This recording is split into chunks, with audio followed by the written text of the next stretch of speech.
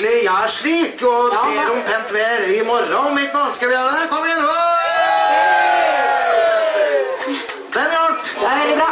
Ja. ja, det er slik at uh, vi gutta vi er jo liksom litt lenger øst vi da fra Finnskogen, men eh, du er vel nesten på hjemmebane? Jeg føler meg fryktelig på hjemmebane når jeg er på Stange, men jeg er jo fra Ildseng, da. Det er, jo det viktig å få jeg ja, det er viktig å få fram det. Jeg er fra Ildseng, men fryktelig koselig å være på Stange, da. Ja, jeg sier mye rart, det skjønner du.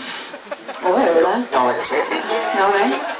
Så, Ja, ja. hva er det du har planer om å si nå? Nei, Nei, det var det jeg tenkte på i stad, men det skal vi ikke prate høyt om. Nei. Jeg vil bare til å spille, er vi ikke det, Leif?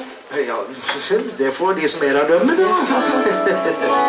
Vi har iallfall uh, hatt et fantastisk siste år, eh, og det siste året før det med Agro òg. Det har vært mye moro, Gro, og vi har hatt mange spillejobber, og vi har hatt solgt mye plater. Det har vi. Og det er vi i kveld. Ja, det gjør vi i kveld òg.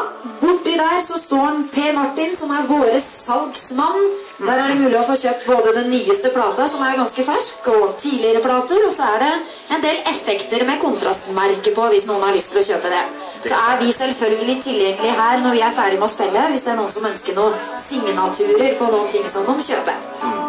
Men nå har vi pratet nok. Jeg syns det. Helt.